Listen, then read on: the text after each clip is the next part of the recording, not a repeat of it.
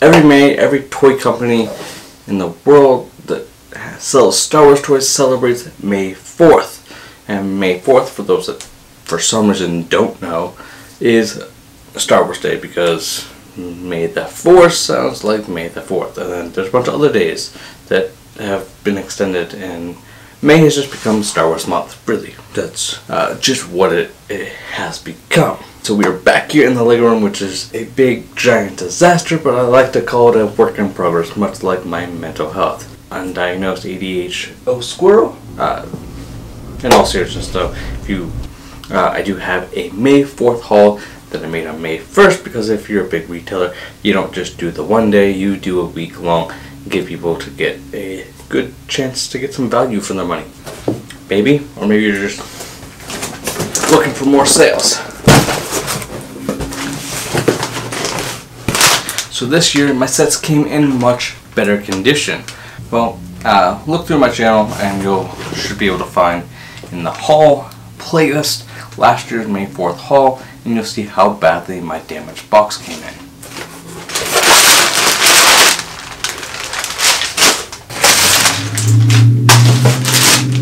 Gonna get rid of all the I'm gonna get rid of all the paper there and pull out these sets. I will be building every set in here on my streams weekly for the next several weeks.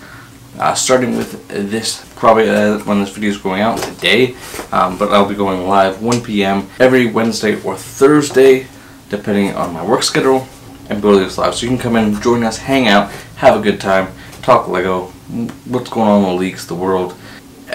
Nothing's off limits, really. So, first set, Sith Infiltrator I think was a good pickup, as much as it is a little bit overpriced I think, but when I build it I'll let you know more on my thoughts.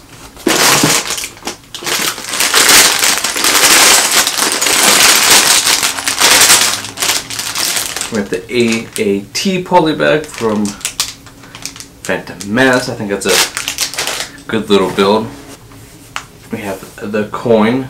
It's not a toy from a toy company. So I, I kid, I kid. And we have the spider tank that will be a fun one I can't wait to build. This is going to be a lot of fun. This BARC speeder should be really quick. Uh, Kelleran Beck looks amazing in here.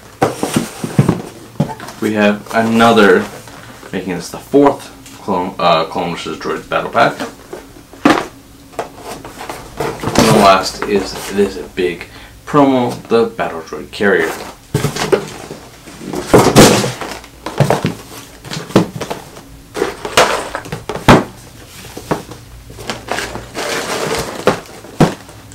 I kind of want to know what you all picked up, so please do let me know right down in the comments. Don't forget to hit that like, and I'll see you in the next video right over here.